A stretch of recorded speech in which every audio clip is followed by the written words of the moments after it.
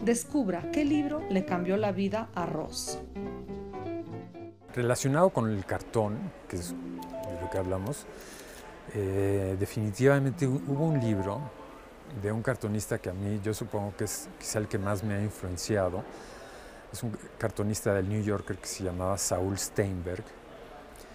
Y es un libro que tenía mi papá que se llama All in a Line, todo en una línea. Si bien Ross ha incursionado en el diseño y la producción de libros y revistas, ahora se dedica por entero al cartón de humor y a la ilustración. Es cartonista del diario El País, en donde colabora diariamente, y en 2009 y 2010 fue seleccionado por el World Press Cartoon, certamen de viñetas que se celebra en Sintra, Portugal.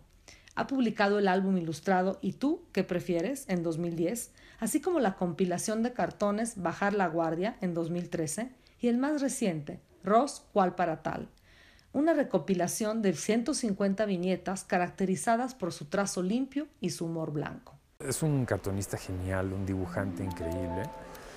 Y a mí yo me divertía mucho reproducir los cartones de ese libro. Los hacía de pequeño, ¿no?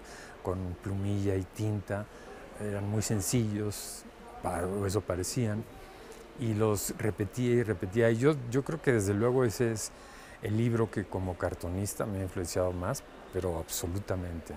Todo en líneas es una serie de cartones publicada en Nueva York en 1945 por el ilustrador estrella durante 50 años de la revista The New Yorker, para la que creó 90 portadas y más de 1200 dibujos, Saul Steinberg.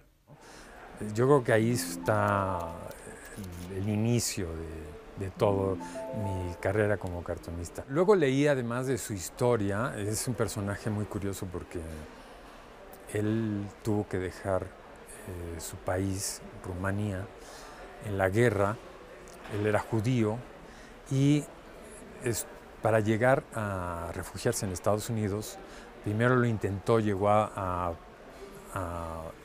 lo intentó falsificando pasaportes, era muy hábil para dibujar y él mismo falsificó un pasaporte. Es eh, un ingenio muy especial suyo y una línea fantástica, una, una mano buenísima.